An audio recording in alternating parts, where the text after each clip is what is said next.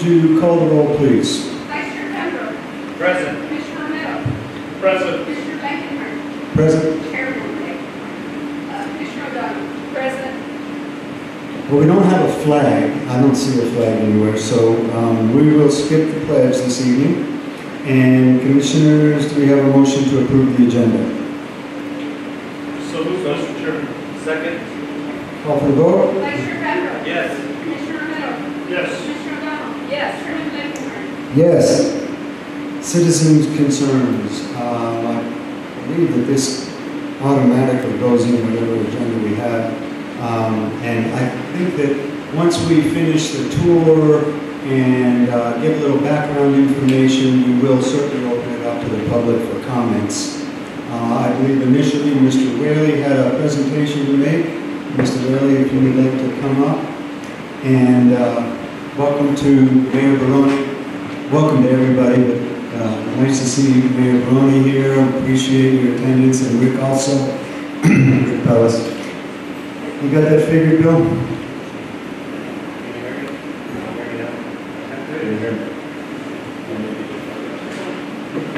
Well, I can speak loudly for everybody.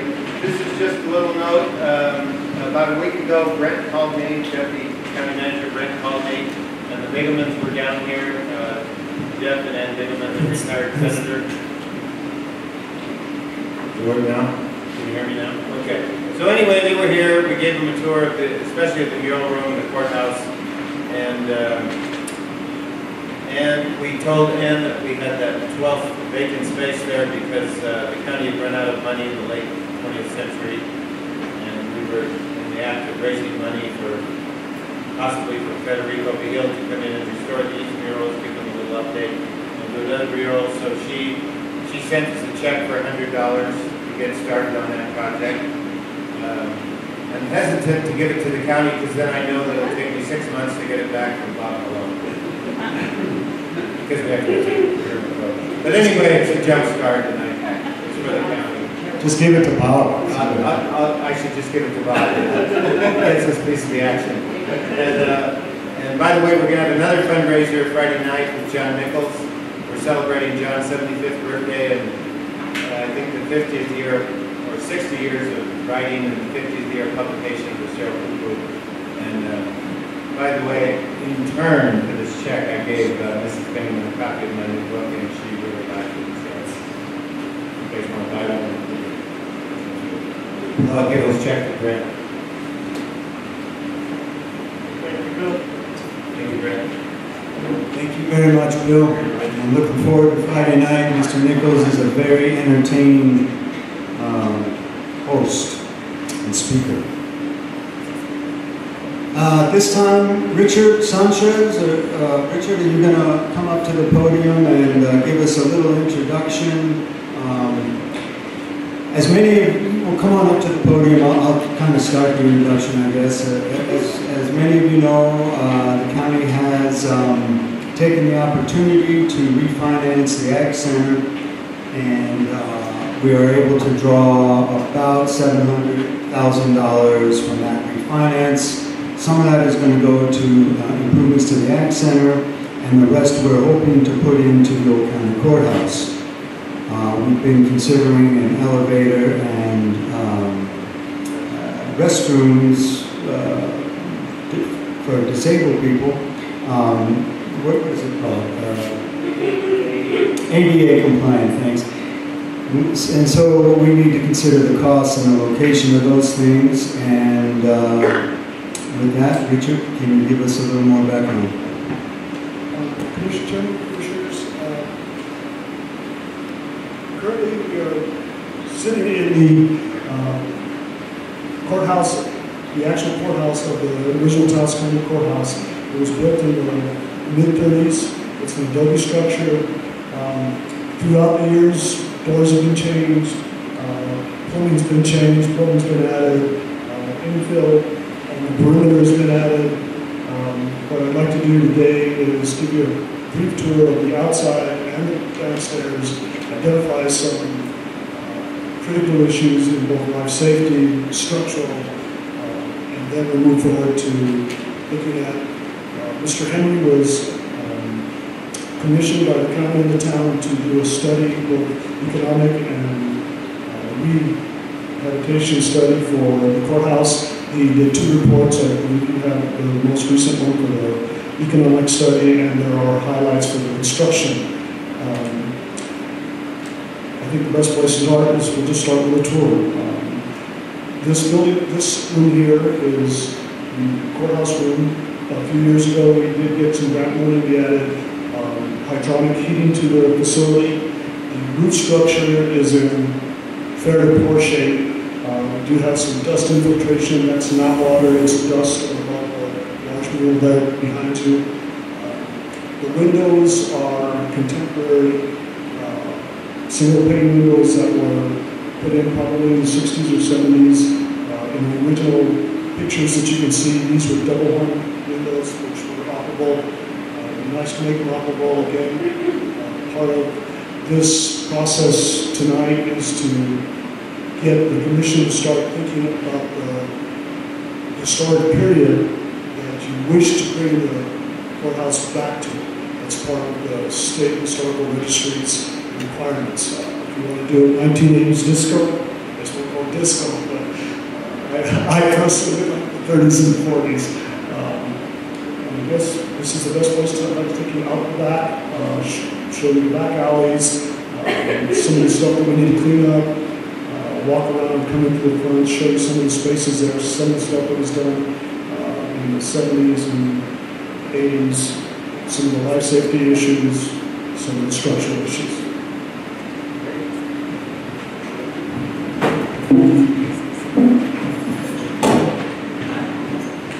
The public's welcome to come with us if they'd like to and listen to the tour for the commission, so feel free to follow the commissioners.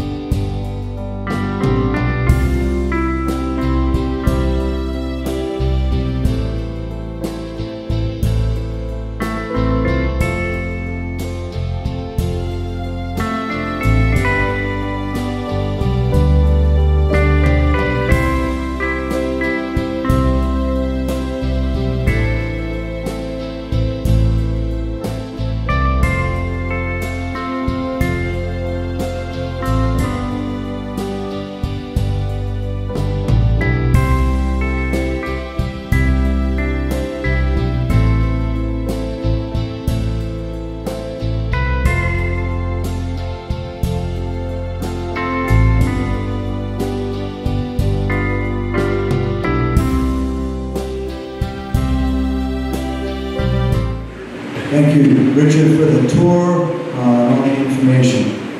Commissioners, do we have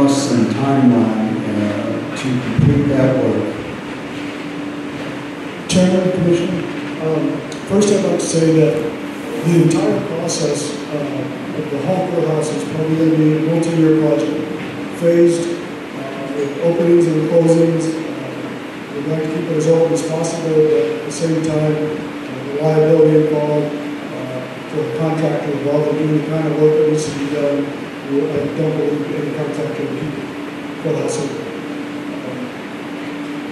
Phasing, and the first phase, uh, Mr. Henry and I discussed different things, and like I said, from my, from my standpoint, uh, the first, most important part of this whole renovation is protecting the structure. We have obvious water damage on this northeast corner. Uh, We have a roof, it's an EPDM roof. The membrane itself is in pretty good shape.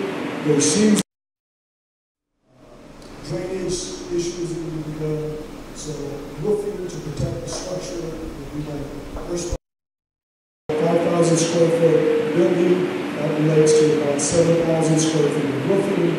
Uh, I would prefer a TPO roof over an EPDM roof. Um, It's a tear off, it's going to require some structural uh, work to make it drain correctly so that the correct leaks and things that we have, the issues that we have with it. TPO with basic tear off is around thirty dollars a square foot, we probably be similar to the vicinity of. So, about hundred fifty thousand dollars, that's at thirty dollars a square foot. Uh, the elevator and the fire exit for the mural room, on structure issues, looking at the building, my experience of working on the buildings, uh, car, like I said, hitless car, somewhere between sixty and eighty thousand dollars, whole chase. fire, It's going to be somewhere around two hundred thousand dollars. Bathrooms, so bathrooms, we're on the first floor or second floor, uh, we're probably looking at hundred thousand dollars. So that pretty much eats up five hundred thousand dollars for the equipment. It addresses several major issues, roof, structure, life safety, ADA compliance. After that, uh, the hotel renovations, first floor renovations, second floor, the rest of the second floor renovations. And all that leads back to some of decisions that the commission has to start thinking about because before any construction starts, we need to pick the time frame that we want to start, we need an RFP for design team, there needs to be a decision on we doing retail, we doing office, we doing museum. All that takes time. Best case scenario, I would say we're starting probably for next May. Uh, That's just the fact of that. You save your money, and you save change orders, and you save complications by doing time. So, as much as we'd like to see another next week, next week, realistically, we're at least a year. Now, now, Um, so, first thing is, the commission, what we have to decide, we have to decide what timeframe we'd like. The Next issue, finance, I've already spoken with finance, with Elsa, and the available to start an RFP. This RFP has to be a little bit different for our design team, I believe. I believe, because we're going to do phasing. Because we're going to do phasing, uh, our design team has to be aware that funding is going to start and stop. Uh, Construction management would be hard. Review bits and pieces, and they have to be available to review drawings as codes change, as the these come up. So phase one with elevator, roof, and bathrooms. And Phase two is hotel, windows, facade. Phase three is the interior roof. We want to stay with the same design plan to keep a fluidity and consistency of the project. It's a money for a sound system. Can you fit that in there? Um, Could that you- generates- could we get you to turn yours off, and maybe you could use the chairman's mic real quick, just to come up? So, Richard, um, what's the possibility of uh, correcting the seam problems on the roof before we invest the 150 to 200,000 dollars into a tear down and replacement of the entire roof? The basic roof is in pretty good shape, but there's seam issues on the parapets, the way I understand it. Is there any um, uh, remedy for that? Thank you. And you know, a way that we can maybe not spend that initial two hundred thousand right away without endangering the, the building. Chairman Commissioners, um, I believe we could get by with possibly re-roofing the south side of the upper part. Um, That is the worst part of the roof. Uh, There's some seams, there's no support. The roof is actually above the structure, so if you walk on it or snow gets on it, it'll continue to tear the seams. So probably re-roofing maybe a thousand square feet and enlarging the canales and making the corrections there would buy us a few years. The overall EPDM, membrane itself is in pretty good shape. It does need maintenance, it does need some sealing. The initial RFP for design, could that be narrowed to just uh, fixing a portion of the roof, installing the ADA bathrooms and elevator? You could, but co I believe it'll cost us more in the long run, and it'll also affect the overall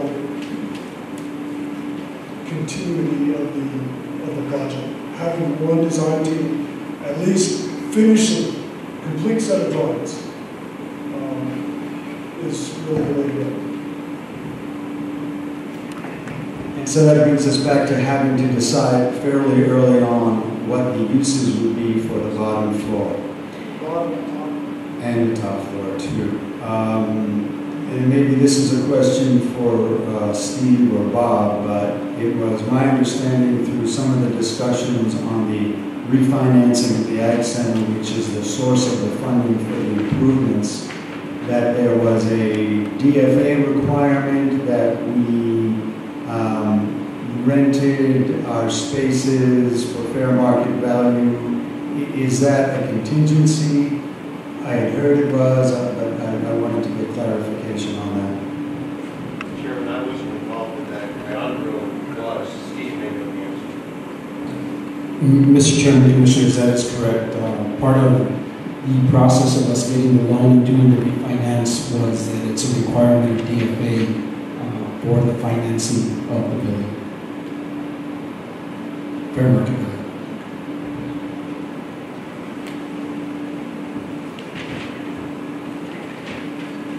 So the, uh, the conclusion then is that once you start spending the money, you, okay, let me ask. Richard, um, would we need to vacate the first floor? What, at, at what point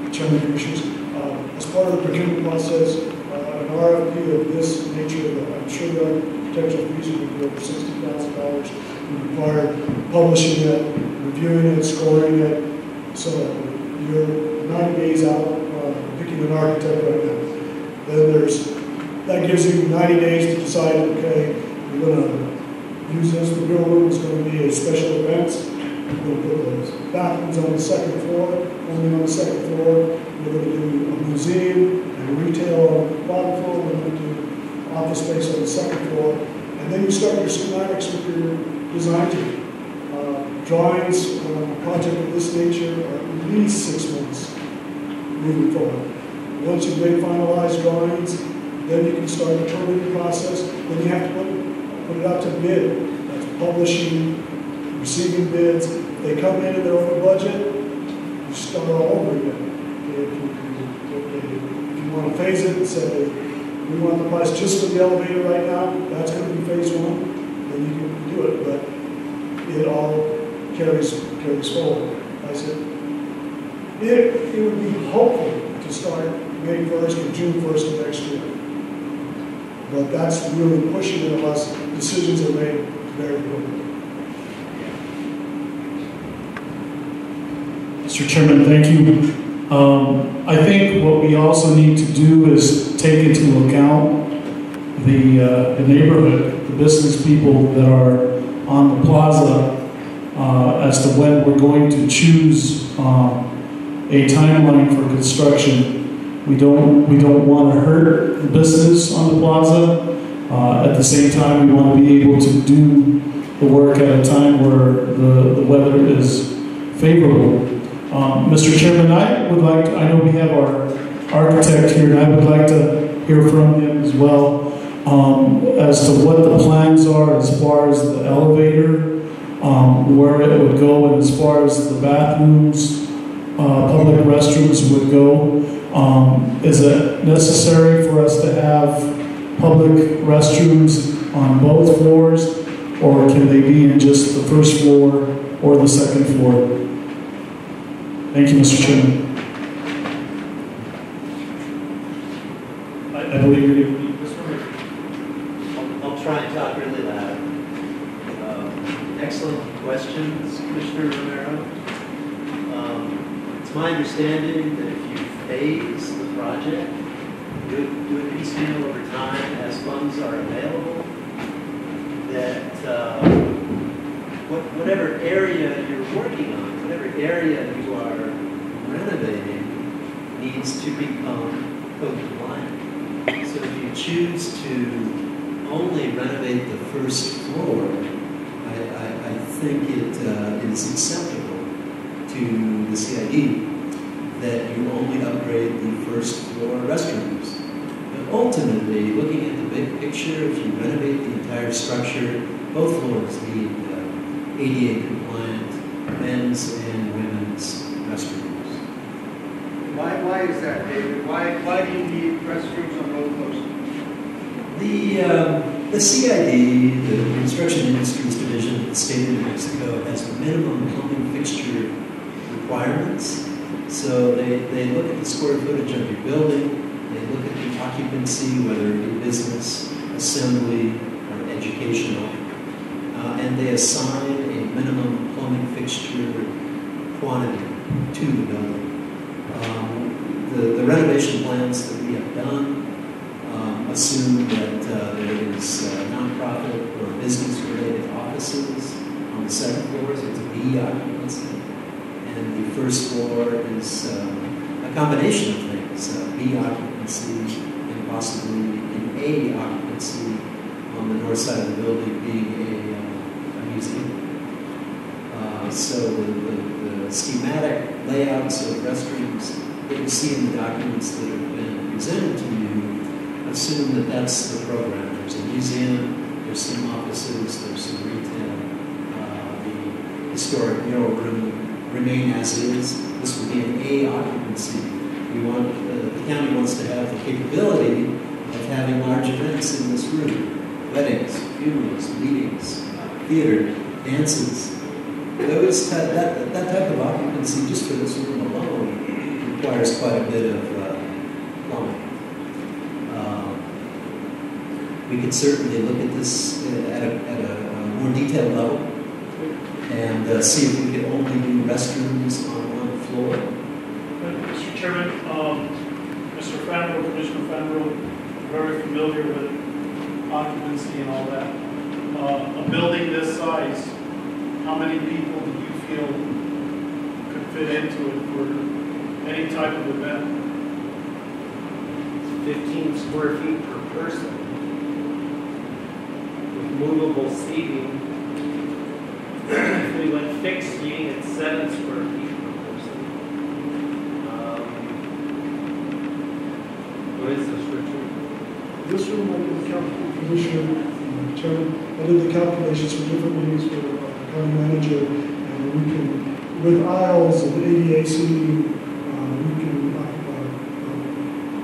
uh, uh, guess about 115. just right here. Um, Going back to is working with David over the years in several commercial projects. uh, Mr. Henry is correct that there are minimum code requirements for fixture counts based on occupancy.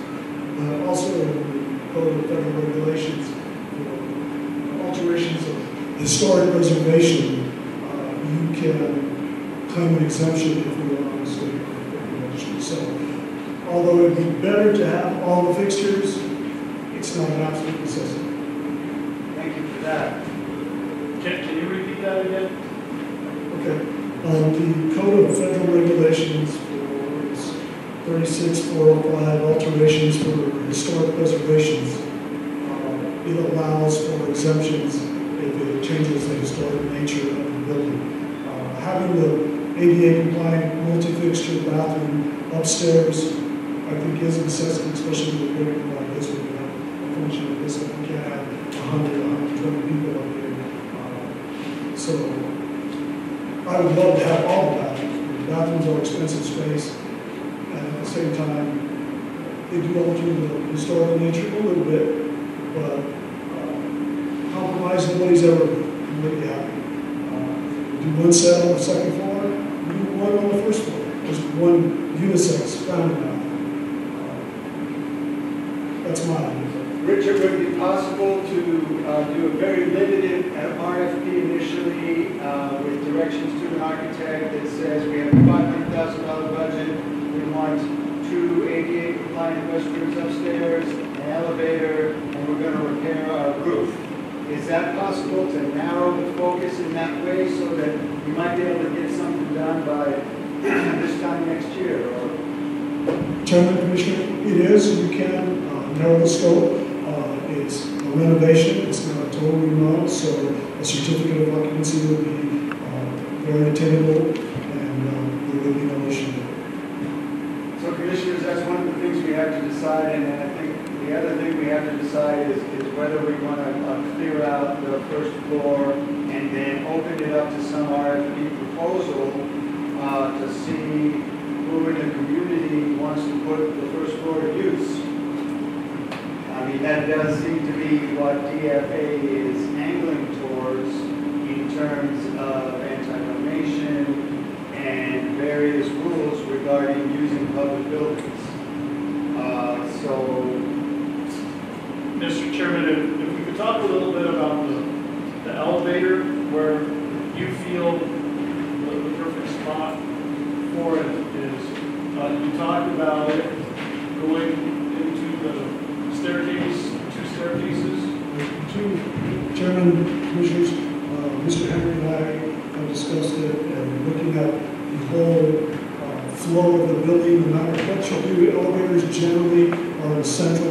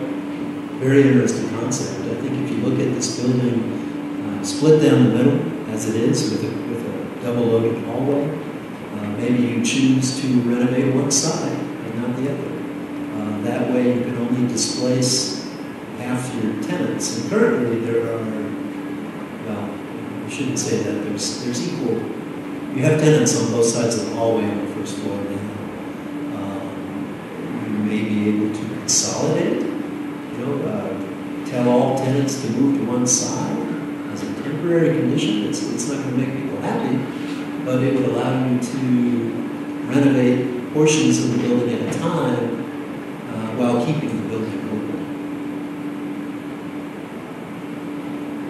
Mr. Chair?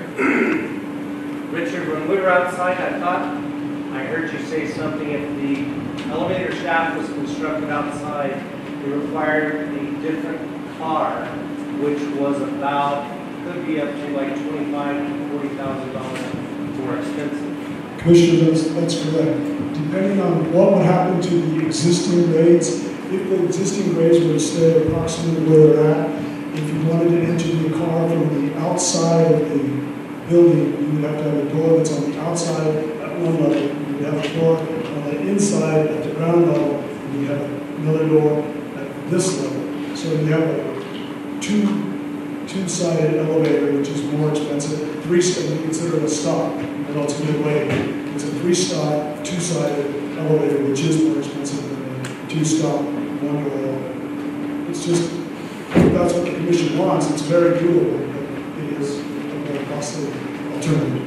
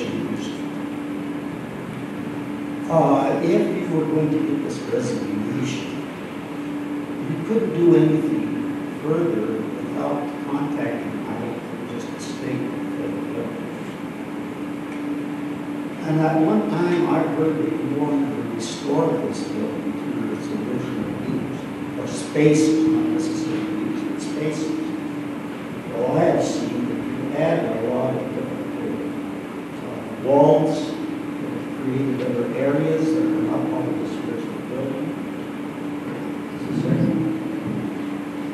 And um, if you're going to maintain this as a national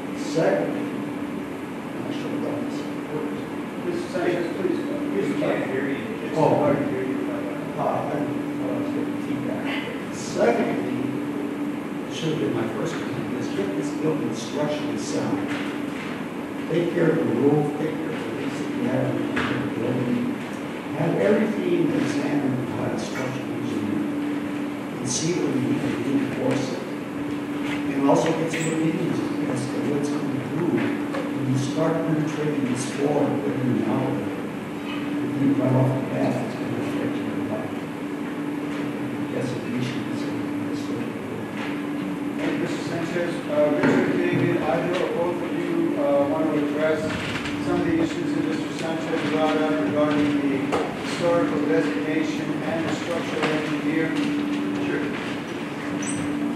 Chairman Commissioners, as Mr. Sanchez said, this is on the federal historical and state historical registry. And we have been in contact with the State Historical Preservation Association, and they are willing to help us. But one of the situations, one of the, not conditions, but one of the first decisions is we have to decide what are going to bring it back 30s, 40s, 40s, 50s, 60s, disco 80s. You got to decide what, you, what we're going to bring it back to.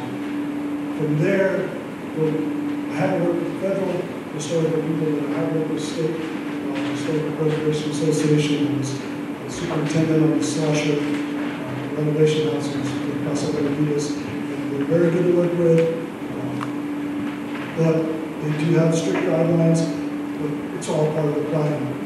And we will have to look it if we want to continue with our designation. Would an elevator eliminate the designation?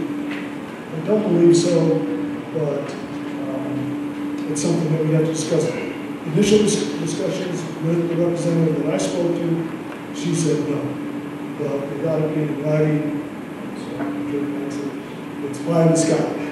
But I don't, I don't believe so. That would make sense because you have to comply with the ADA uh, statutes, and uh, it would make sense to comply with one law and then lose your designation. Well, Didn't we have a structural engineer look at this place at one point? Either or both? We definitely did. I can provide the, the com- the commission with that report. Uh, Mr. Sanchez, I'd be happy to email it to you or provide it to you. It's done by Jim Hands, who's a structural engineer that has pretty vast experience with historic adobe structures throughout the state. Jim has been in practice for 40 years. He knows quite a bit. And his Right. conclusions, what were his? His conclusions were that this is a very stout and uh, substantial building that is not going anywhere. Um, he, he put in writing, it's, it's roughly an eight-page report plus photographs. And one of, one of his, one of my specific directions, Jim was a consultant to Henry Architects. Uh, one- of my specific tasks that I put on the structural engineer was uh, if we remove the uh, later construction that we all believe has been constructed in the east and west alleys, does that put the building at risk? And uh, his, his response to that is no. Uh, the building can stand on its own. It has a concrete bond beam at uh, the highest level, the middle level, and at the basement. So this, unlike many historic adobes in Taos County, where you have uh, less than ideal foundation conditions. Some, some buildings are built with rubble foundations, some buildings are built without foundations. That's all a recipe for disaster. Fortunately, this building has a very substantial cast in place, reinforced concrete foundation system. It's visible go in the basement, you can see it. Um, there's a continuous grade beam and a continuous stem wall uh, with substantial footings. Uh, five feet below grade, it's, it's, it's a very stout building. Uh, it's, it's my opinion, and it's the structural engineer's opinion that, that I hired, uh, that the side buildings could be removed. They don't have to be, they're not a threat to the building. But if they were removed, the building would stand. What is more of a concern is water migration. Um, either from the ground up or from the roof down. And that's a structural issue that uh, needs to be addressed. It, it has more to do with the building envelope, and I think Mr. Sanchez is absolutely correct. If you're going to do anything with this building, you should probably address the envelope first. Uh, if you don't fix your building envelope, what's the, the, the use of spending money on a brand new bathroom if water is going to destroy it five years later in a snowstorm or a, a, a rain event? Um, I, I think that uh, the analogy is to you know, work from the outside in, uh, make the skin of the building, make, the, the uh, envelope of the building weather tight before you do extensive interior renovations. Uh, that, that doesn't uh, preclude us from immediately installing an elevator to make the building uh, ADA compliant. I think that's a very good idea. It's my understanding that, that Taos County is in receipt of letters from national agencies, federal agencies that are telling us that's it's a, it's a top priority. We're breaking the law by not uh, making this building compliant with ADA. Uh, and that's a, I, I heard that 10 years ago. I've, never seen such a letter, but I've been told it exists. The commission may or may not know about that. I've never seen those documents, but from previous uh, county managers, county staff, and previous commission members, I've been told that Taos County has been notified that it's, a serious concern of the federal government that this is a public building and it's not ADA compliant, and the top priority that you should take is to make it compliant. Don't give it another coat of paint before you install an elevator. That's what they're saying. Thank you, David. Appreciate it.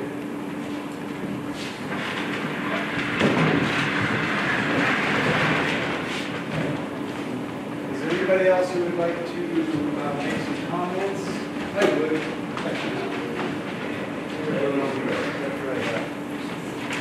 State your name. Steve, you were in the hot seat there for a second. Turn the time on. I just want to applaud you guys. You know, this is something, uh, Councilman Sanchez, I know you're in the audience. Uh, thank you. Nine years ago, that was one of our priorities, was to get this courthouse up and running and spend some money and make it uh, a space for the community. And there's things that happened that it didn't get moved forward. We couldn't find the money, but there was plenty of opportunities opportunities for us to move forward. You know, the town and the county now has come forward and both put money into some designs, and, and it's great that you guys have found the money. I just want to say thank you. It's, you know, it's right downtown. It's a big public space. The, the rich culture and history that we have in our community, this just adds to it. Uh, just want to thank, thank you again on, uh, on Saturday. The courthouse was lent to the town. We had a big event up here. Uh, we welcome the, the, the different, um, um, the different uh, queens from uh, Espanola, Rio Arriba, Santa Fe, our own queen. We're up here. We had a great time. We, we fed a lot of people in the community. People didn't know this room existed. So again, it's an opportunity for us to move in a community, to move forward. I know you have some big decisions ahead of you. Uh, we've had all the entities that governs this stuff here to look at the building three or four times now.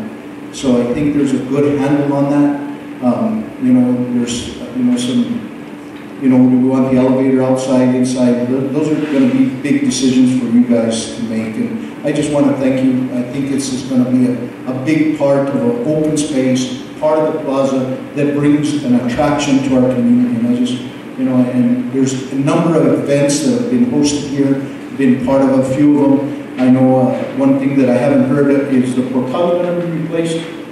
And if it is going to be replaced, because if you look at the pictures, uh, you know, we see a lot of pictures, you know, during the fiestas, that's a place for the queen to actually receive people as they come into the plaza.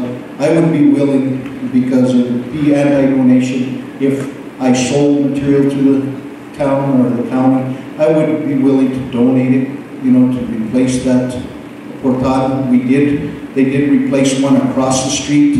Um, it looks hand-hewed, that was what they want, that's what the Historical Society passed, and I would be willing to do that.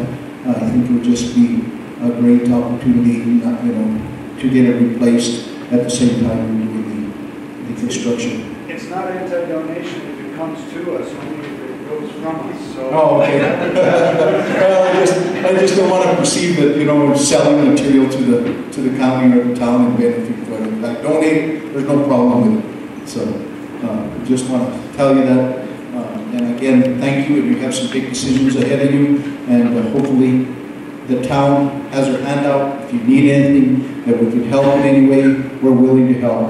Uh, You know, there's opportunities after, you know, the GRTs will increase in, uh, hopefully, that's what, you know, when something like this comes to fruition, and there's opportunities that hopefully it raises our GRTs, because, again, the town's budget is based on GRT, um, and the county's budget mostly is based on property tax. So, you know, we're working off of two revenue streams, and so we're always looking for opportunities in our community to bring more people here, to have more events, to, to create more business for our businesses in, in, in the community.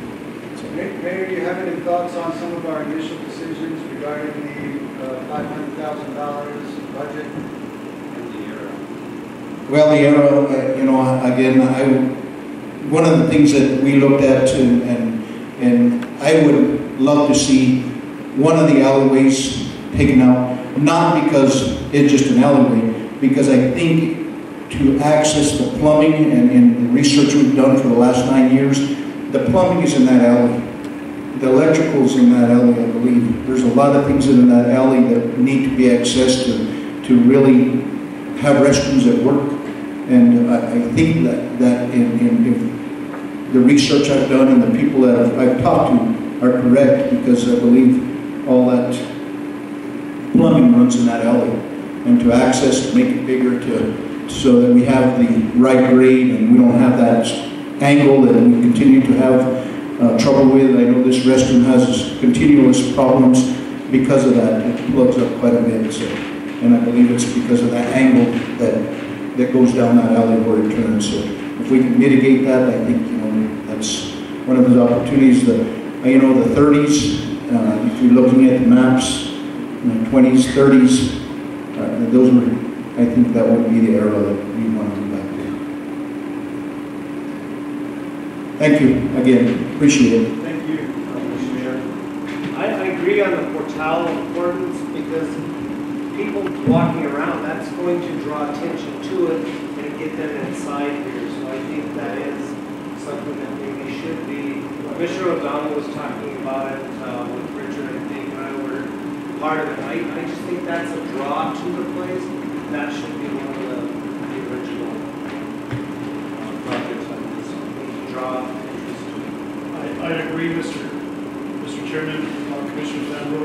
Uh, When you look at the hotel for safety purposes, uh, in wintertime, icicles form off those ranges. I've seen huge icicles fall on vehicles and stuff like that. So that hotel could be improved immediately. That would be, that would be a plus. So there is some separation too, you know, where the water has been penetrated and flowing back and down the, the wood portion of it. So, you know, I just bring that to your attention because it's something that we know during our inspection. I you know, some of the plans, I don't know if that was addressed or not. So, again, thank you. You've got some hard decisions to make. And again, uh, as from the town, we have our hands open. Sorry we couldn't have our wallets open because we'd love to be able to contribute to. But if there's anything you need in looking for money, because there's monies out there, I know we identified several sources that were out there when, uh, you know, uh, back when uh, myself and Commissioner Sanchez, um, Councilman Sanchez uh, were trying to get this revived. Uh, we found some avenues that there is some revenue sources out there um, above and beyond the $500,000 that you guys are to, to move forward with it. So Thank you.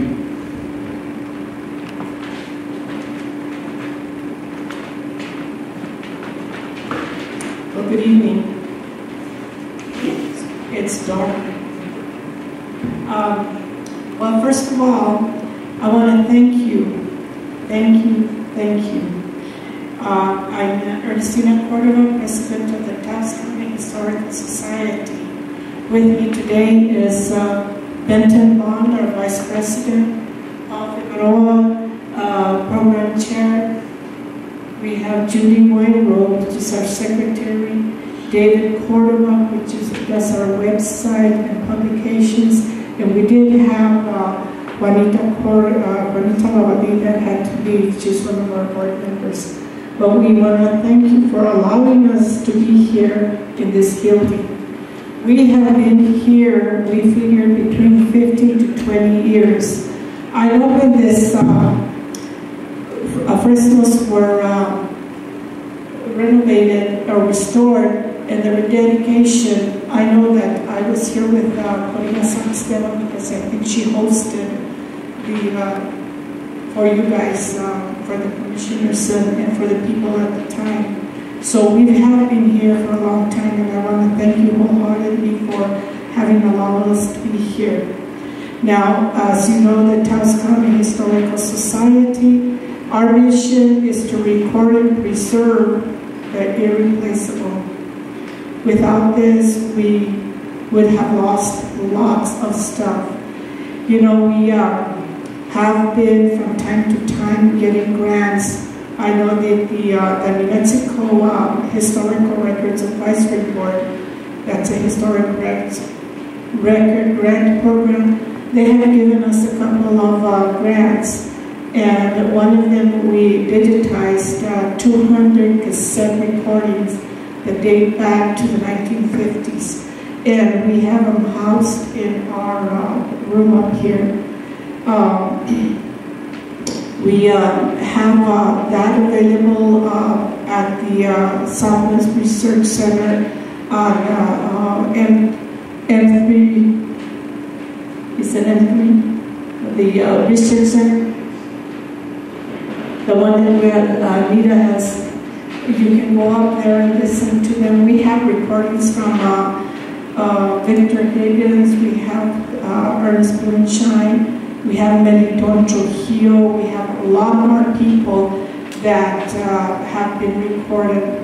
And then we uh, accepted the, uh, from the Taos County, we accepted the tax rolls that were, I thought, we thought would need to be preserved, and they are really, really nice for at some point in time if somebody doing research actually wants to look at them, we're housing them. That took a lot of space from us, but uh, we have the tax rolls from 1924 to 1963. With the grant that we received, we were able to buy archival boxes and shelving to um, put it in. Um, one of the uh, the uh, Rio Grande, uh, Northern Rio Grande uh, National Heritage uh, Area is also giving us a grant, and uh, on this we were able to scan and digitize 34 copies of Ayeri That is, this booklet contains a lot of history that has been written we now have that available. And because of, uh, we've been going up now, we have a really good website. I invite all of you to uh, come in and look at our website, www.taoscountyhistoricalsociety.org. And in there, you will find all the Ayeri issues that if at any point you have time, you can go in and read it. You will find history, that uh, it's irreplaceable. These are the things that we are looking for. Now we are constantly being offered material that has been in families, historicals, and that they are willing to give us these materials, but they want to be sure that we have ample space to store them and also make available for uh, people to research. Um, it would be nice if we had an additional space. I know right now we have two rooms, but uh, they are fairly small and they are pretty packed. We would uh, want to see if at any point in time when you do renovate that perhaps we could uh, have another pieces of, uh, you know, another place in there. Um, we could keep this to us, our historical, because they're dark, so that preservation, usually they ask for a, a dark place. They don't have windows in there.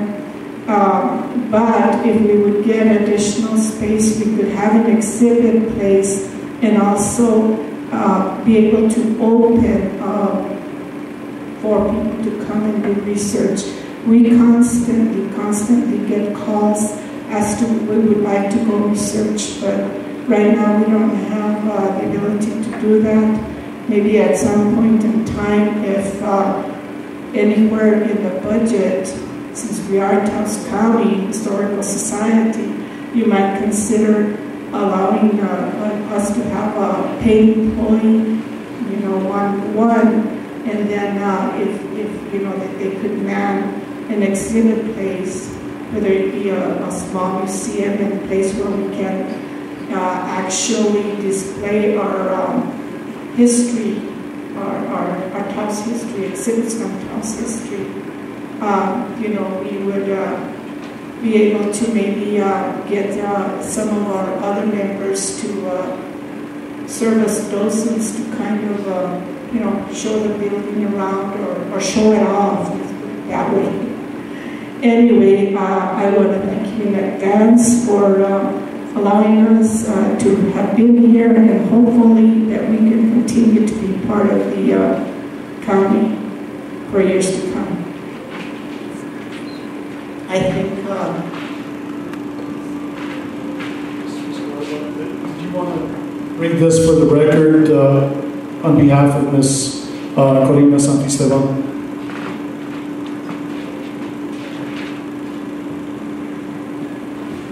As you know, uh, Corina Santistevan is uh, one of our uh, most valuable and uh, one of the uh, historians that has been with us. Uh, you know that she did have the project of uh, doing or heading the project of the Taos Topical History, a book that was 17 years in the making, and we did publish it, and we've had great success.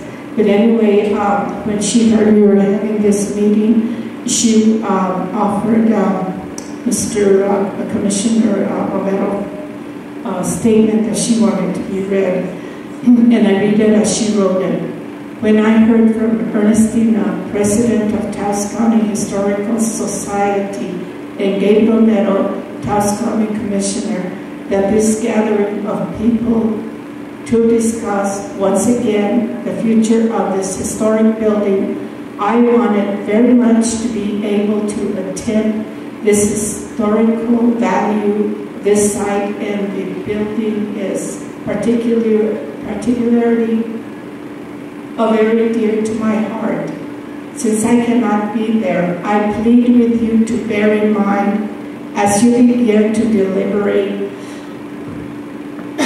that this is one of those irreplaceable gems that needs to hang up the historical integrity respected not only because of the intrinsic value of murals, but also because it reminds elders like all the of all the losses we are experiencing as time goes by. We have Spud Johnson's home for sale. The Archibald Chapel has become the love apple tree. Apple, the love apple. The Espinosa's beautiful old home is now the Alicantina. If we develop an ethic of preservation, we may be able to save this particular building, but we'll also learn to appreciate the fact that Taos Pueblo is so unique and well cared for that it is being selected as one of the world's heritage sites. Imagine that. Right here is our own neighborhood. What then would I like for you to consider? First, seek counsel from experienced preservationists of historic sites. Secondly, consult several architects. It will be worth the money in the long run. Take time to act wisely. Corina A. Sanstella. Thank you.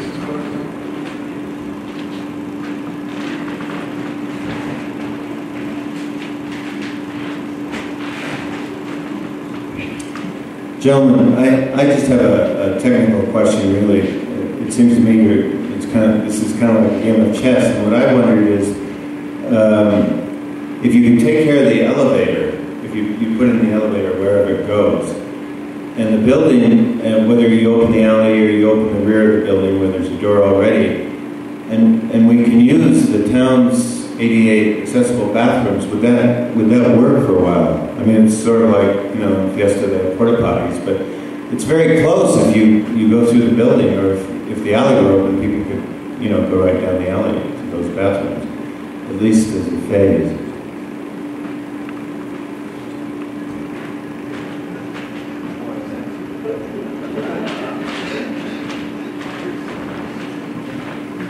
Chairman, Commissioners, um, anything's possible. Been getting by with one restroom on the second floor for 80 years now. Um, But uh, I think, me personally, um,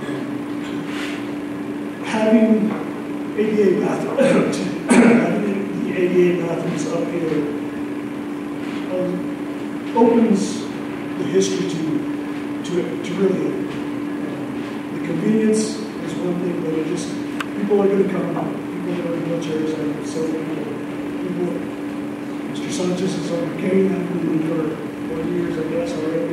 Uh, I'm getting up there, pretty soon, pretty soon. Uh, I think the bathrooms are a big issue and, and the uh, envelope of our, of the building to start off with. Said, the structure, bathrooms, ADA accessible. From there, it's all pictures. Richard, uh, what do you think the approximate cost to take out the alleyway and rebuild the portal? The alleyway, I'm gonna say, the tip-up fees, probably somewhere like fifty, sixty thousand dollars. Um, we have to do an asbestos and lead inspection to ensure the safety of the public and our contractor. Um, a portal like that, a well-designed engineered portal with a little bit of forethought so that we could use it as a reception area for, for special events. Um, they were 75 feet across and 8 feet long. That's 540, 600 square feet. Uh, at about $50 a square foot, $30,000 running that facility, plus design fees. Uh, but we'd have a, uh new portal that mimics the old portal, accessibility from the upper deck onto it to use it, removable rain so that only during special events it be present, take it down so it doesn't detract from the historical nature of our structure. Um, so running up some thirty to fifty thousand. Bob, would you let us walk on the roof of the portal if we have the railing there? As long as we have a good design. Thanks, Richard.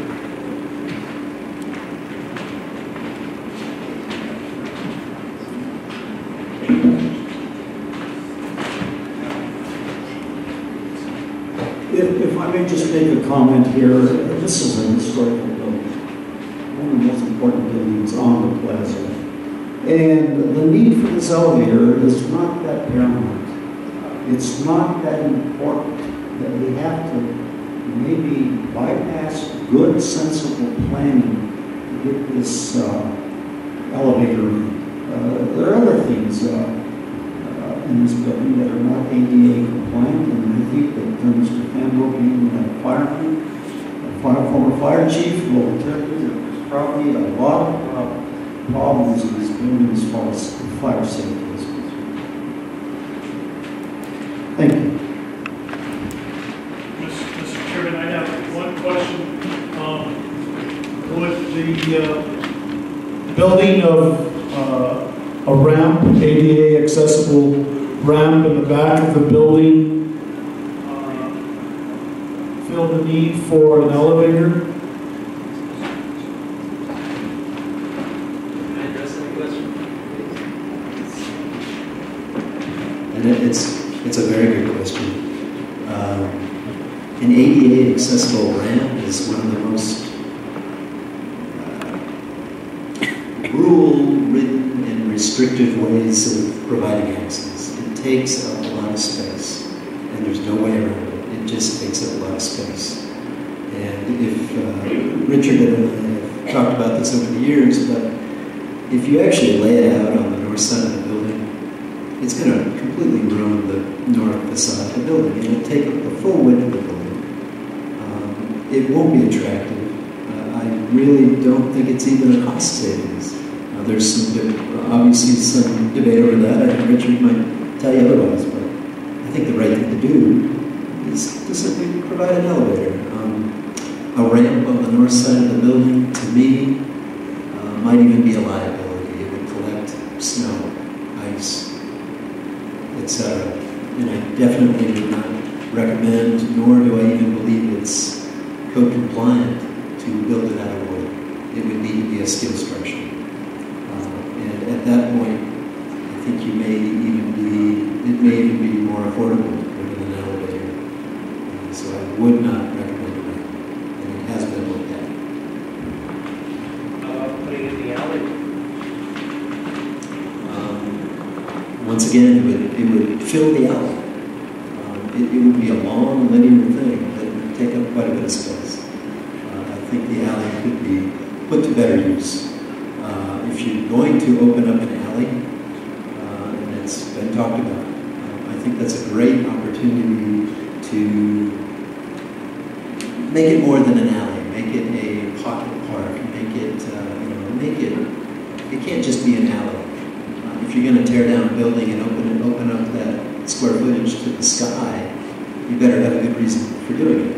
Um, some of those reasons might be, you know, cafe seating in the alley, or a beautifully landscaped uh, and hardscaped shade garden.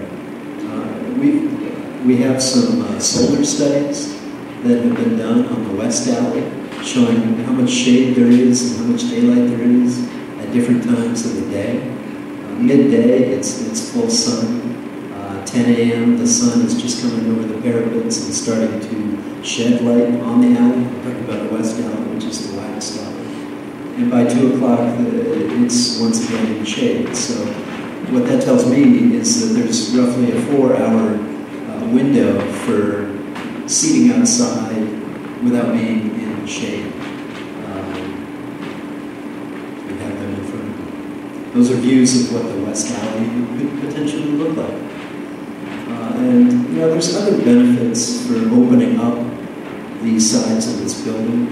Uh, you, for those of you who took the tour in the closet of the co-op uh, gallery on the first floor, you, you realize that there are the original windows are still there. They're, they've just been bricked up. Uh, and if you restore the alley to open sky and you restore the windows, it allows daylight into the first floor of the building, and that's not occurring right now.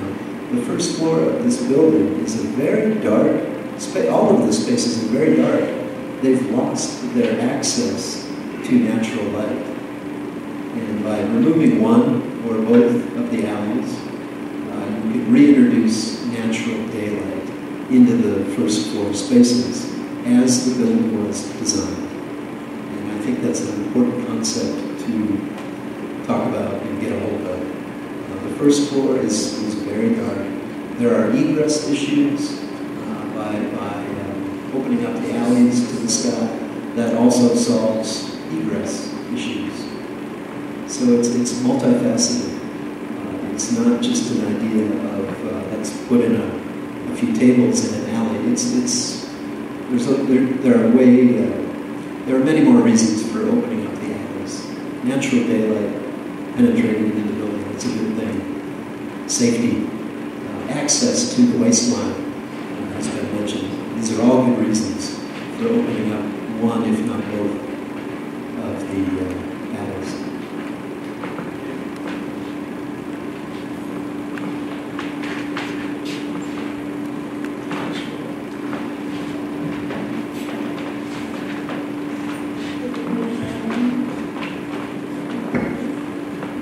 My name is Effie Romero.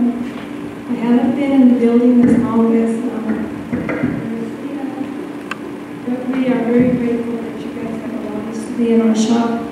We just finished up three years now for the fiestas. And I'd like to say that when you do decide on a fair market value, we'd like to have a chance to see if generally we can meet that, or even if the, the smaller space, like I was talking with Mr. Romero here, maybe two rooms instead of four, or whatever happens, you know, but, um, about the elevators, I really don't think putting the elevators outside would be very safe.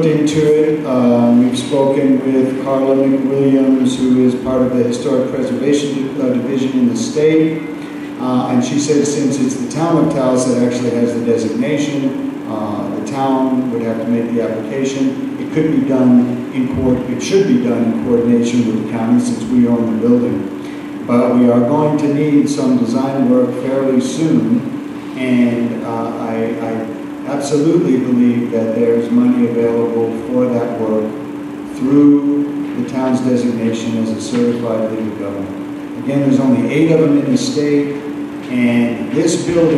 is on the register as a building that would be eligible. So, um, at some point, uh, hopefully in the not-too-distant future, we get a meeting um, with our administrative staff and get that application in. I don't think it's a very complicated application. And it- and it is another source of revenue. I guess it wasn't a question, was it? Anyway, there is that source of revenue in addition to the 500 grand, and there's also the Northern Rio Grande, who have uh, repeatedly expressed an interest in investing in this building.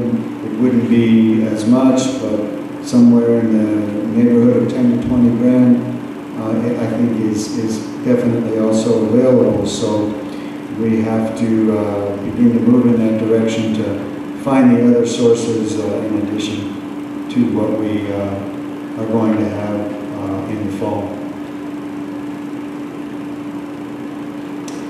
Well, um, I guess, yes, Paul.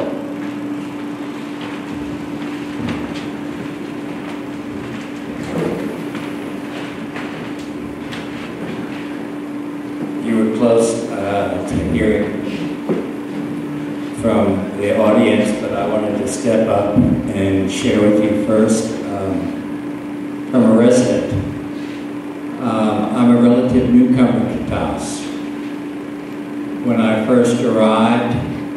door was often locked, and you could not come in to see these historic frescoes done by four major Taos artists that are noted and recorded and uh, discussed in many books on the New Deal era, on art history, on American history. For opening this room to the public, I thank you, and I know many of the people who come to Taos, whether they're from off and they say, my goodness, this is wonderful, or they're residents who said, I've been waiting for this to be open. So I commend the county, the people here in this building that act as uh, docents, if you will, that see that this room stays available to those who are visiting the plaza. Thank you very much for that. As to what's been discussed tonight, I'd be remiss not to share with you my opinion. Fix the roof, look at the envelope, put in the elevator, put in the ADA restrooms. I spent the last 10 days with volunteers downstairs from the powwow weekend, or actually before the powwow weekend, till through the fiesta. And um, many people come into this building and look at those stairs. And even though we have a wonderful message there, each step adds a second to your life. Many of them aren't really going to come up to see these wonderful treasures, even though they could use 20 extra seconds.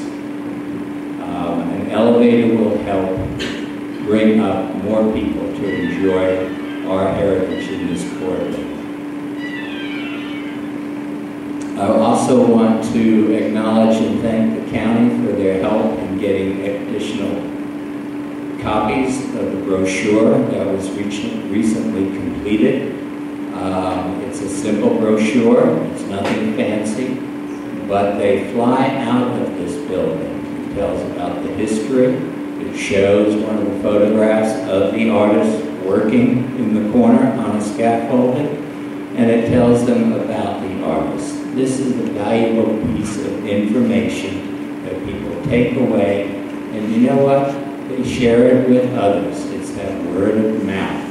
The word of mouth gets out, and people from Oklahoma, Texas, Kansas, California, you only have to look at the guest book for the different art exhibits that have been placed in the hallway to recognize that our visitors come to this building come to the plaza and walk in. They should be welcome and invited to experience a cultural uh, landmark in Taos. Finally, I am uh, a newcomer, but I've gotten involved with a few organizations. And uh, last fall, the Fall Arts Festival, working with the county and its Arts and Artifact Review Committee put together an amazing exhibit in this room. And um, that's the type of activity that we want to see continue in this room. Other groups use this room. Uh, music, performance, Taos on stages in here doing theatrical presentations. Taos Entrepreneurial Network has meetings here. Give them a bathroom on the second floor, please. That's all I have.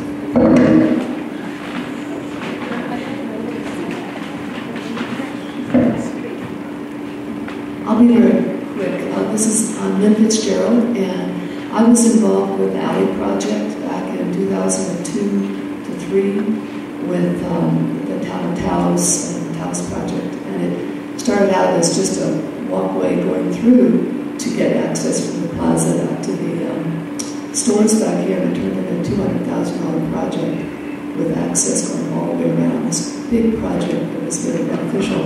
if you go through the alley here, over at the west side, I would wish that you might take the porphyry pavers and extend them through that so we have a continuing, continuation of the design look of that. So that was always the hope that that became an image that would be carried out with future projects. And there was a thought when we were trying to decide what to do with this building that um, this could be a satellite, almost a tourist visitors information center for all the museums, the Seki Association, all sorts of other uh, entities in town which need to have a presence. There's a lot of um, activities that are spread out around town. One central satellite where people, they could perhaps each pay into this, which would help with rent, and then they could advertise and people could come in, they could, there would be exhibitions or exhibits or, and handouts and so on but it could be an informational guide to what goes on in the whole community of the county and so on. Just a thought. Thank you. Thank you. Very good thought.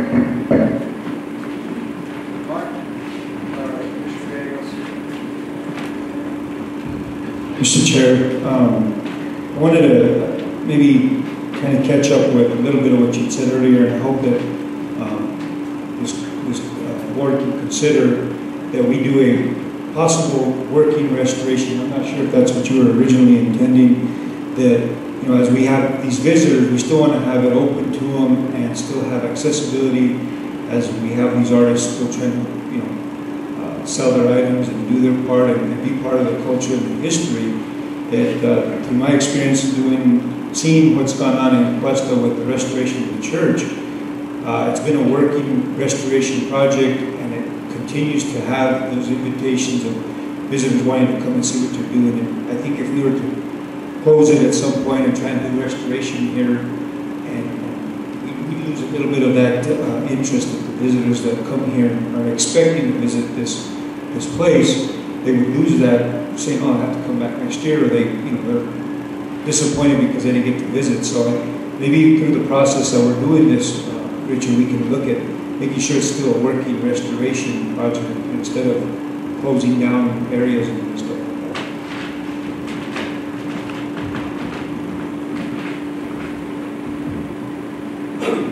Chairman, Commissioner Ramos, um, more and more think about it, um, it's very possible that we could do something like that. Um, it's a little bit more costly, but I've been on several projects that we do, it, it's all after hours, after business hours. Uh, that takes the liability away. I mean, if you're working on the elevators from seven in the morning, seven in the evening to seven in the morning, and you flag it off, and it's, it's then it doesn't become a liability issue. So uh, planning, if that's what the commission wants to do, and I, I agree with you, keeping the use as much as possible, especially of this room, uh, should be paramount. And if it does cost us a little bit more to do after hours construction, that's what we do.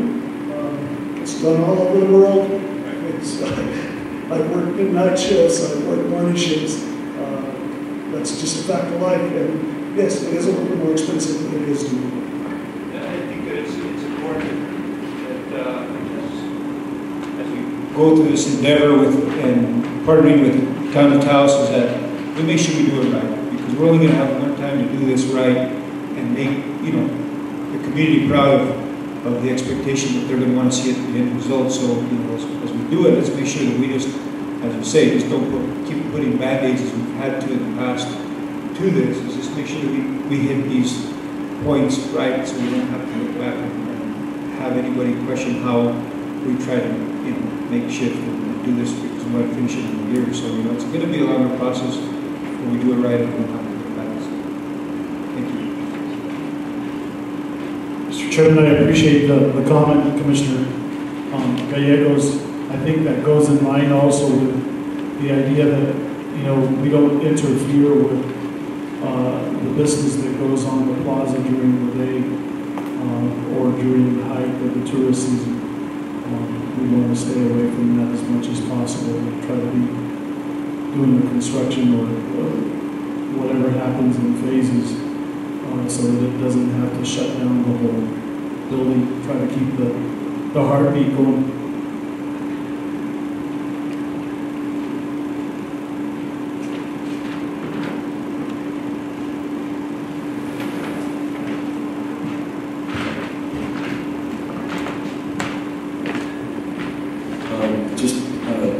building since it's been open has kind of taken on some uses already, and I think as uh, Paul Figueroa had alluded to, there's almost always something in here. Uh, Friday night, Mr. Welly's sponsoring uh, uh authors from all over the county a week for two days.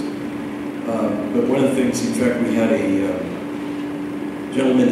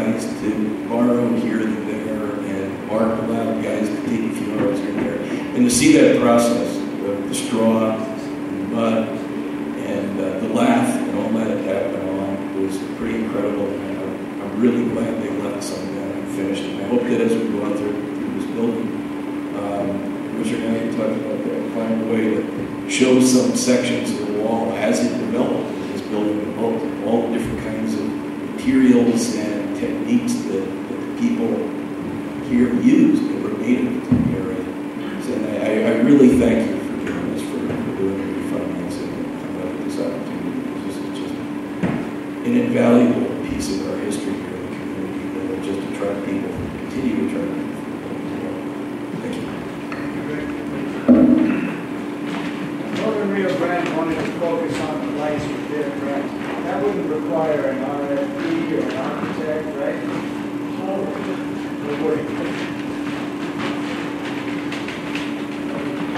Generally, all commercial space is generally requires uh, someone stamp on it or anything. Um, CID has been a little bit more uh, relaxed on a few things on services and whatnot they're below certain thresholds. Um, we probably wouldn't need um, an electrical engineer. Services a small service here, it's less than 200 amps. We would need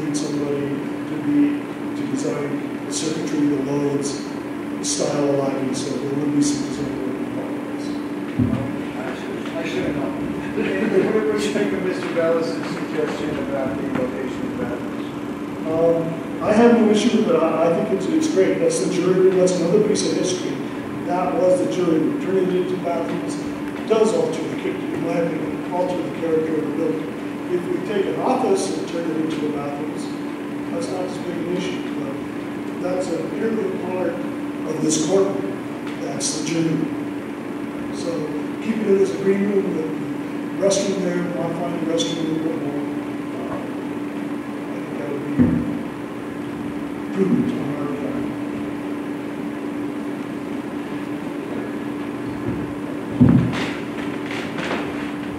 If I may, Commissioners, um, first off, I'm Mark Harrell, I'm with the Taos Entrepreneurial Network. Uh, We love using this location, and I, I feel our group was very instrumental in getting this Old County Courthouse back into action. I feel at this meeting we're missing the big question, and I- I- somewhere along the line, there has to be a decision on what is going to be used in this building. And everyone's planning to do, well, we're going to fix this, we're going to do this, but I don't feel that there's a decision made on what the long-term plan is for this building. What's going to happen downstairs? Are we going to have retail? Are we going to have a, you know, a a restaurant coming downstairs? What's the plan for upstairs? So for us at Taos Entrepreneurial Network, we don't really see a long-term plan here because we never know what's going to happen. So it seems we're doing a lot of planning for construction, but there's not an overall plan on what you're going to use the building for. Like, somewhere along the, the line, that should be made so that you can move forward with better plans. That's my comment.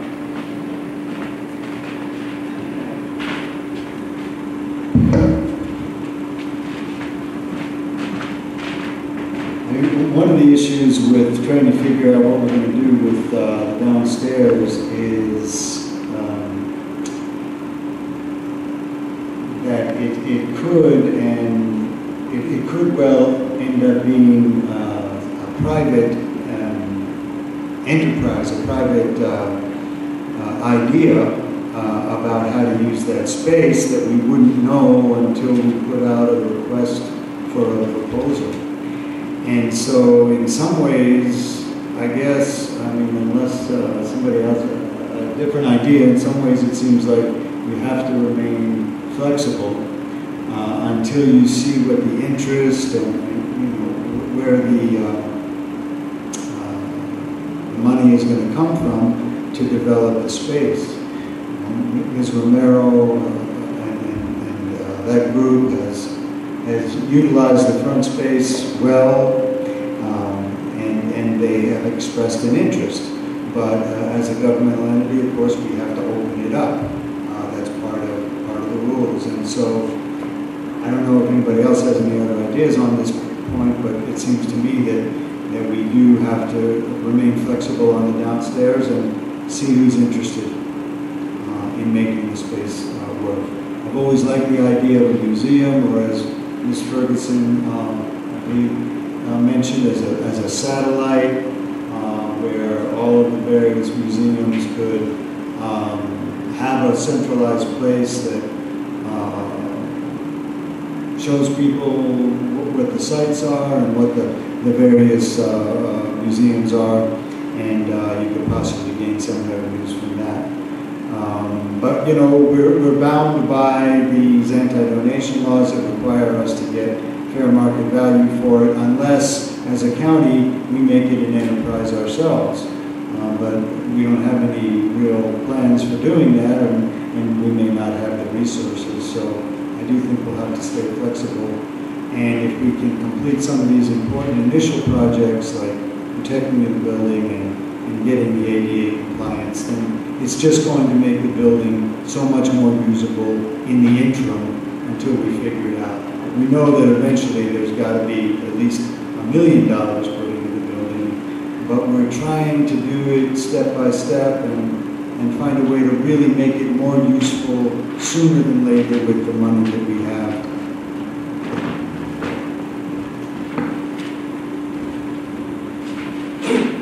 Chairman, know that we're trying to be as flexible as possible, but also, um, this is a historic building.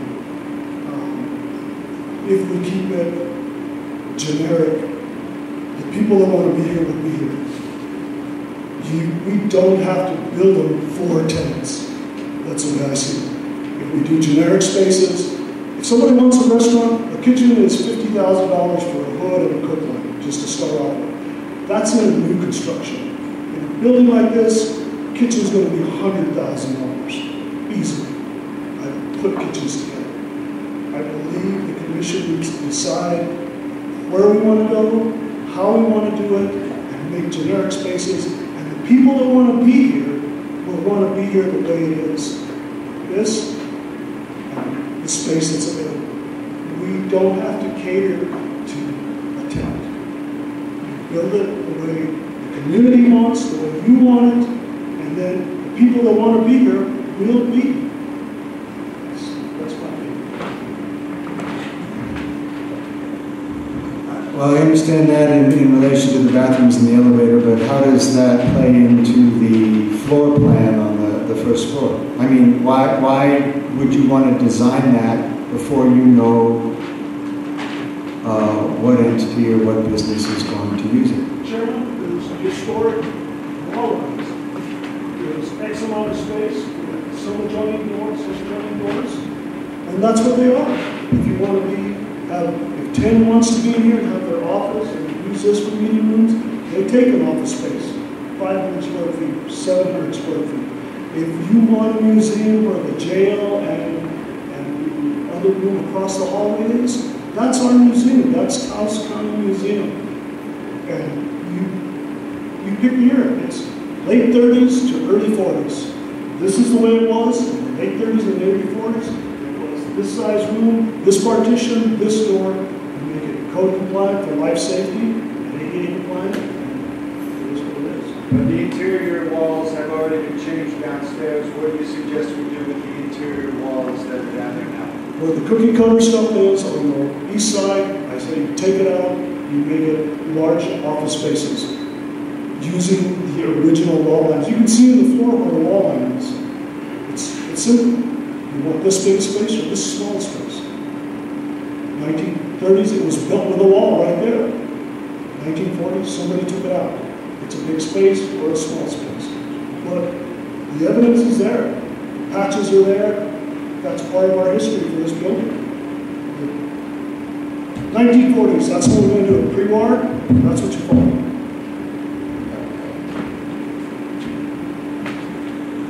Mr. Chairman, Commissioners, I just want to remind the Commission that that's a policy decision that the Commission has to make and staff will follow the policy moving forward. I would just say that that's a policy decision that the Commission will make and based on that policy decision, staff will move forward with that direction.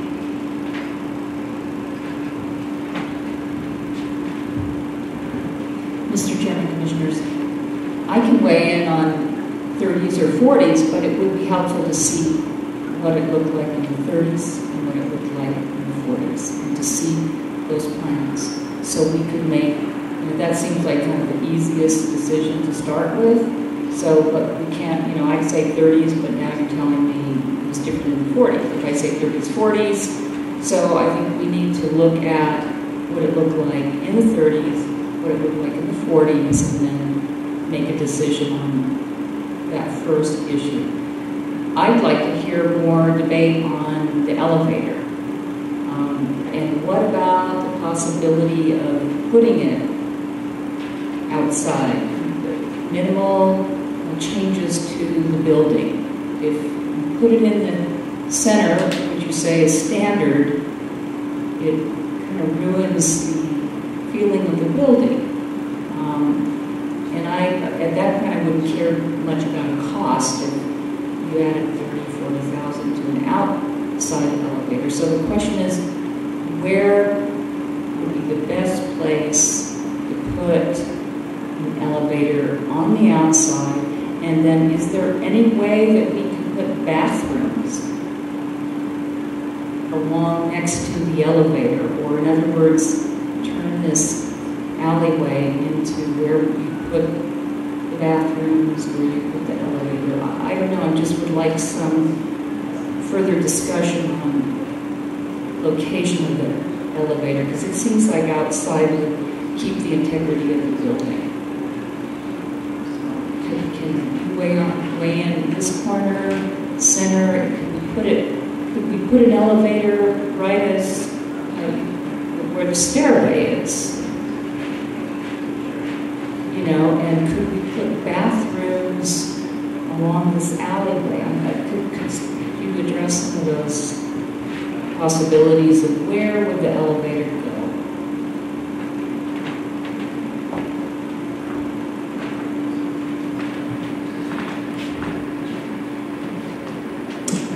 Lots, lots of options at this point. Uh, I, I I really think we're, uh, we're slightly getting ahead of ourselves. If there's no funding let's do something else. Let's not do the elevator. Um, The building definitely needs an elevator. I, I think that's a, that's a key component to making the structure code compliant. Whether it's internal to the building or uh, in an adjacent space, uh, they're both feasible. Um, Richard gave you all a tour, and we started at the northeast corner here, which is kind of a hole that's experiencing some water damage, and you can clearly see that. Maybe that's a feasible spot to install an elevator shaft. They don't take up much space. Um, they definitely want to be directly attached to the building. Keep in mind that an elevator isn't just an elevator cab. There's equipment that is, there's a closet associated with an, any elevator, and it can be remotely. But an elevator comes with an equipment room, so it's more than just the elevator. Um, but whether, whether the elevator is located internal to the building or external at a corner along the north facade here, uh, it can all be done. I, I really think we're getting ahead of ourselves, strictly focusing on where that elevator is. There's probably some bigger fish to fry. Um, but the roof, the envelope, um, I, I think if you immediately install an elevator, an elevator is something that's quite durable. Um, you know, it's, it's a drywall shaft with a bunch of metal parts. As long as you keep it dry, you're okay. Um, elevators need electricity. They need reliable electricity, electrical service. Uh, they kind of go hand in hand. If you're going to install an elevator, you need reliable electrical service. I'm not convinced this building even has that. Um, some electrical upgrades were made when the uh, steam system was replaced with a modern boiler, but the overall service to the building was not upgraded. So an elevator comes with other things, um, electrical upgrades, for example. Um, here we are in a room close to 9 o'clock at night, and I think we're all having trouble reading. Lighting is, is a really important thing, and it goes right along with life safety and egress. Uh, if you can't see where you're going, you don't know where to go if there's a fire. Um, it's a life safety thing.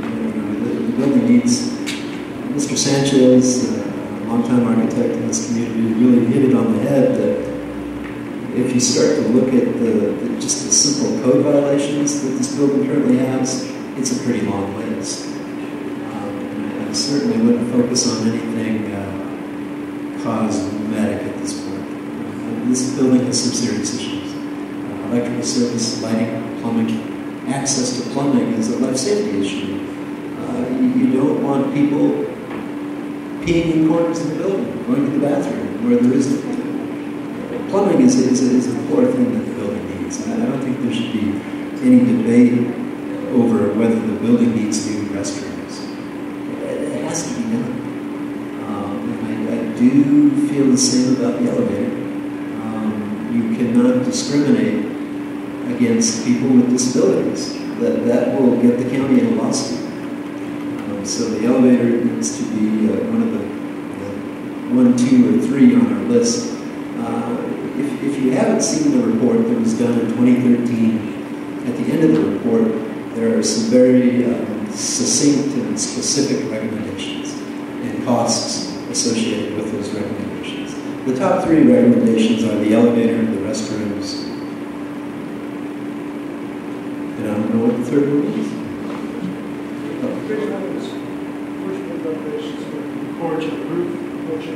Yeah. the elevator and the restrooms, I know are without um, And, uh, you know, the whole debate about who gets to use the building on a, uh, on a for payment basis, who, who are the tenants? I, I think those tenants you if you renovate a building.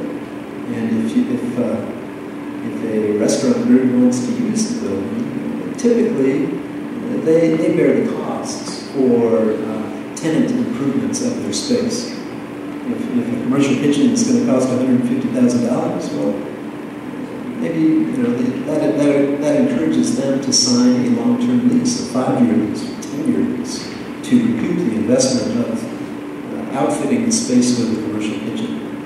And that doesn't apply to some of the smaller tenants. But I think the tenants will find you if you renovate the building.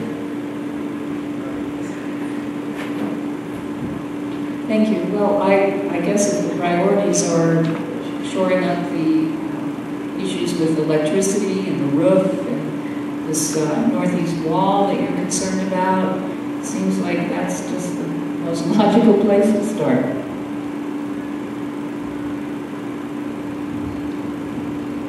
Well, um, at this point, I think that uh, we should consider adjournment, maybe a little wrap up here. Uh, I think there's some uh, good agreement that an elevator and bathrooms and, and fixing the building envelope are going to be our priorities.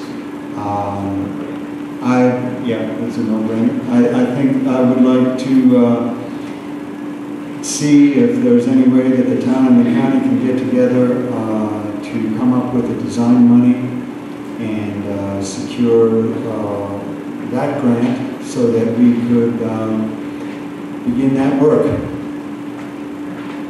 Commissioners? Oh, I'm sorry, Brent. Chairman, Commissioners, I'll be real quick. Since I kind of managed the mail room of Vanessa's home, and between Bill Wingley, uh, Alfigueroa, and the TEN group, they use this room pretty, pretty much throughout the year. Is it safe to say that I can continue working with these individuals through May of 2016 or April of 2016?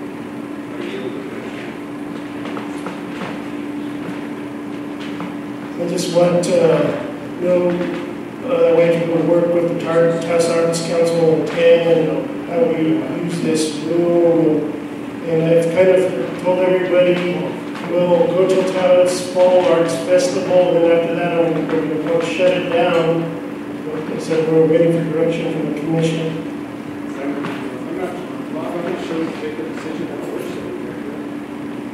It's a decision and action. All, what I'm looking for is just a recommendation that I still book this room for events.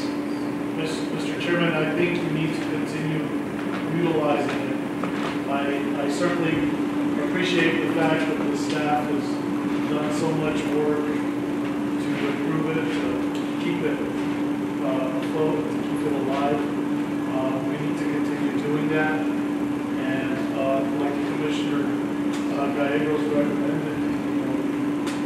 to continue to be able to uh, improve the building, but at the same time keep it open. And so that's all part of that astronomy. Uh, I really feel that we, people need to continue to use it. Chairman Commissioner, it's, it's a vital part of the community, and just the procurement process for the design team and everything else, like I said, if you hired an architect today, you wouldn't have designs till December 30th.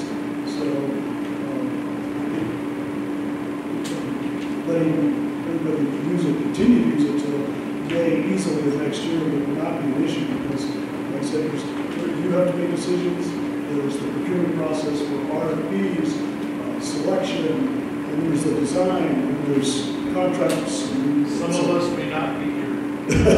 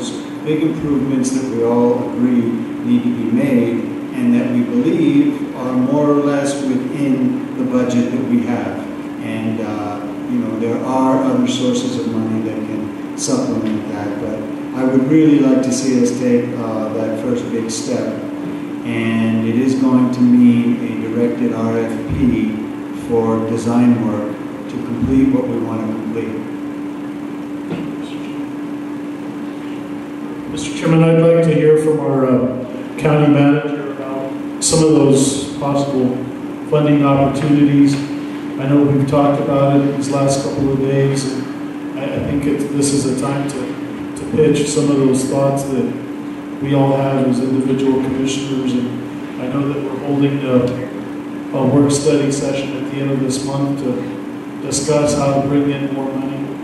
And the uh, courthouse is, is definitely a priority of this commission.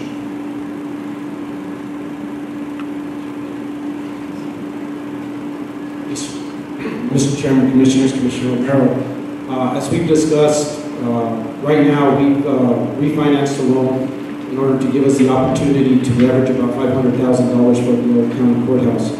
Our initial target for the old county courthouse was about 1.5 million. Uh, the commission will be hearing uh, opportunities that will be available to them moving forward. Uh, we have 318s available to us uh, through a gross receipts tax under the Hold Harmless Act that the commission could consider. Uh, the second item would be a 112 that the commission has available to them. The timeframes and our financial advisor will actually be advising the commission on that. Uh, if we leverage that money, we could leverage anywhere between 8 million down to possibly 5 million, uh, depending on what tax uh, the commission should look at. Um, not all of that money obviously would go to the County Courthouse, but it's something that is available for the commission to consider. Um, as we all know, there are several uh, needs within the community and several issues that need to be discussed. And so the next work study will actually talk about uh, the Old County Courthouse, it will talk about sports and recreation, it will also talk about the hospital and other issues that are there. Staff has been asked to look at a mill levy uh, under the property tax portion and to sort of see what that would do for the community and how we could leverage money in that avenue. And so we're in the process of also making sure that during that work study coming up, that we're able to talk about that. Uh, gross receipts tax in Taos County has stayed pretty stable over the last three years. Uh, we've seen a slight bump this year. Staff has been working with Tax and Rev to see where some of the issues are with the Chevron mining. Also, we have a, a big development going on at Ski Valley to the tune of about 49 million. And so we're trying to figure out how those gross receipts tax are going to affect us in the future and how we can uh, hopefully leverage some of that. We're also looking at some of our gross receipts tax that have a possibility of um, sunsetting and how soon those would come up. And so all of those areas will be looked at and then presented to the commission for decision. I hope that answers your question, Commissioner.